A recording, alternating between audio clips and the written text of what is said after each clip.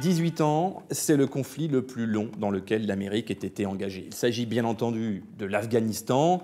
Dès la campagne présidentielle de 2016, pourtant, Donald Trump promettait d'y mettre un terme et de ramener les 14 000 boys encore engagés sur le sol afghan.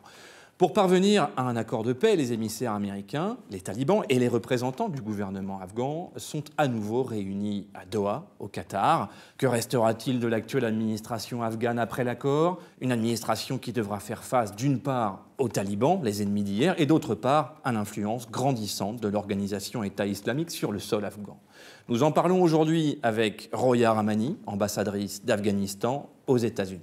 Madame l'ambassadrice, bonjour et merci de nous accueillir ici à l'ambassade d'Afghanistan à Washington. Pour commencer, qu'attendez-vous des pourparlers de Doha qui seront, on le sait, absolument cruciaux pour l'avenir de votre pays?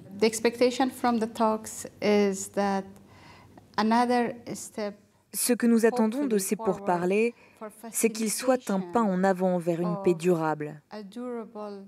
C'est ce qu'espère le peuple afghan et c'est ce à quoi nous aspirons depuis le début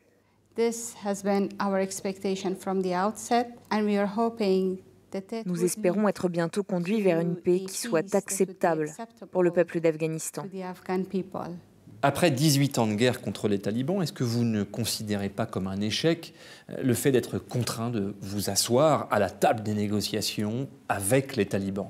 Euh, Est-ce que vous ne considérez pas comme un échec le fait de n'être pas parvenu à imposer la paix à vos ennemis?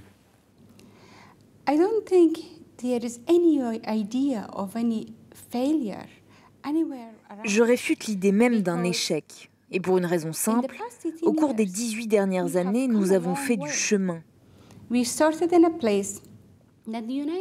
Nous sortions de la situation suivante. Les États-Unis venaient d'être attaqués par un groupe terroriste, par Al-Qaïda qui était alors hébergé en Afghanistan. Ce contexte a mis au jour la situation du peuple afghan, qui jusque-là vivait dans l'obscurité sous le régime des talibans.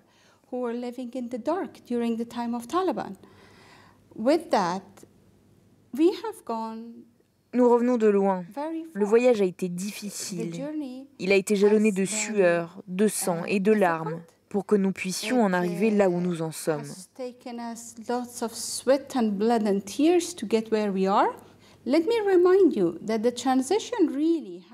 Laissez-moi vous rappeler que la transition a vraiment eu lieu quand plus de 100 000 soldats étrangers ont quitté l'Afghanistan. C'était à la fin de l'année 2014.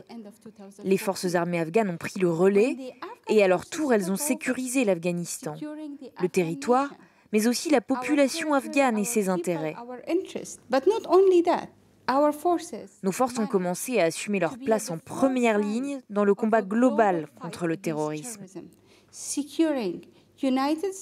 Elles participent désormais à la sécurité des États-Unis et de tous nos alliés internationaux. Elles offrent à nos citoyens un environnement sécurisé où l'espoir est permis, et cela malgré les difficultés. Comment pourrions-nous appeler ça un échec? Votre histoire personnelle se mêle à celle de l'Afghanistan. Euh, vous avez dû quitter votre pays natal, vous réfugier au Pakistan, puis vous êtes revenu euh, sous le règne des talibans. Et déjà, à l'époque, vous vous opposiez à la loi des talibans. Il n'a jamais été question pour vous de porter la burqa. Et pourtant, dans un avenir relativement proche, il va falloir échanger avec eux et peut-être même les intégrer à l'administration de votre pays. Qu'est-ce que vous ressentez lorsque vous, euh, vous êtes face à cette réalité Comment l'acceptez-vous?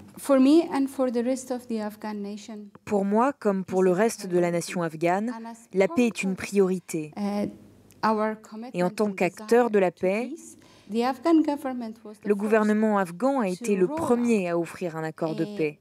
Déjà en 2017, c'était le souhait du peuple afghan. Ce conflit altère notre capacité à devenir le pays prospère et développé que nous pourrions pourtant facilement devenir. Bien sûr, nous sommes ouverts à la négociation et même à la réintégration des talibans comme membres de la société afghane. Mais cela ne signifie pas que nous allons nous soumettre au système qui a plongé l'Afghanistan dans l'obscurantisme, celui qui nous a projetés des siècles en arrière, en termes d'histoire, de valeurs ou de développement. Nous sommes donc ouverts à leur retour. Ils pourraient revenir en Afghanistan et vivre comme le reste de la population afghane, comme une part intégrante de la société, être réintégrés.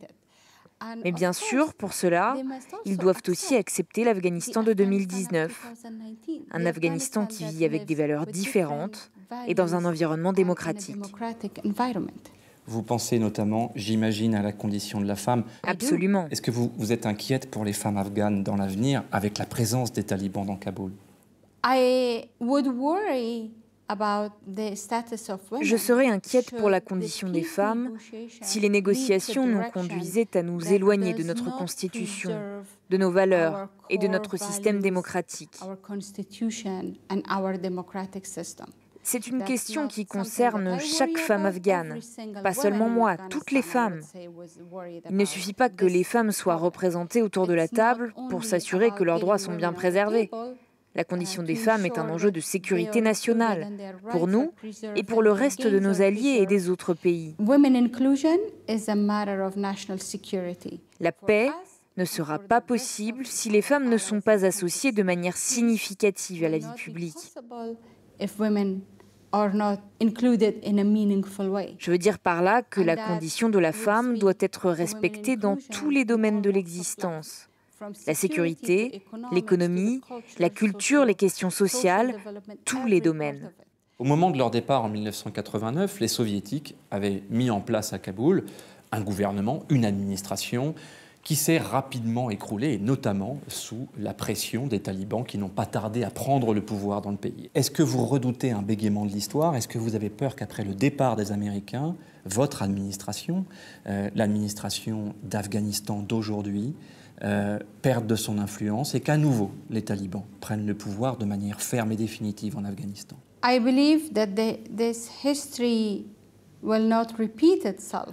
Je ne crois pas que l'histoire se répète parce que l'Afghanistan est dans une situation bien différente de celle de 1989 et même de 1992, 1996, 2001 et même 2010.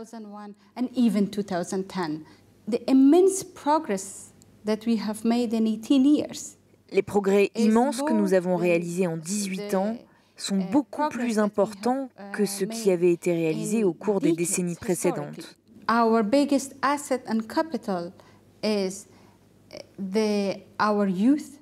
Notre principal atout, notre capital, c'est notre jeunesse. Les investissements qui ont été réalisés pour ce capital humain.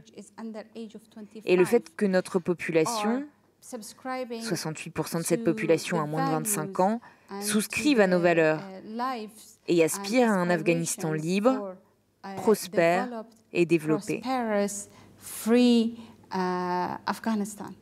Quel regard portez-vous sur l'engagement américain dans votre pays? On sait que l'armée américaine a perdu près de 2400 hommes, plus de 20 000 blessés, presque 900 milliards de dollars investis. Et pourtant, il faut quand même encore négocier avec les talibans. Est-ce que vous avez l'impression que les choses ont été faites de la meilleure des manières ou est-ce qu'il y avait une autre solution que cet engagement massif et militaire? Notre partenariat avec les États-Unis est basé sur des intérêts mutuels et une vision partagée. Et quelle est cette vision Des deux côtés, américains et afghans,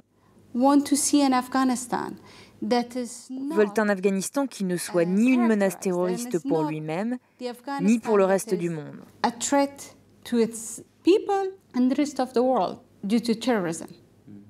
Nos deux pays souhaitent que l'Afghanistan soit une nation économiquement viable, qui devienne à terme un partenaire économique. developing country that can contribute Or, le terrorisme est une réalité, et ce sont les Afghans qui sont en première ligne. Nous avons perdu des dizaines de milliers de nos soldats, et nous en perdons encore tous les jours. C'est un coût colossal pour notre pays et pour notre peuple. Mais tant qu'il le faudra, nous continuerons à défendre notre peuple et nos valeurs.